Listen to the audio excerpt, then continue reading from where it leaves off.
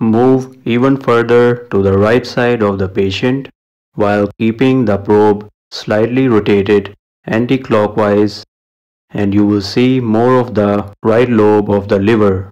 Sweep left and right to scan the right lobe completely. You will see the gallbladder, portal veins and the hepatic veins. Keep going right along the costal margin until you can see the kidney. Usually it is seen at mid-clavicular line. This is the right lobe. This is the right hepatic vein.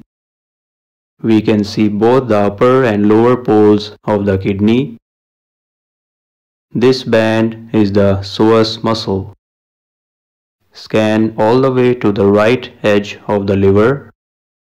If needed, ask the patient to take a deep breath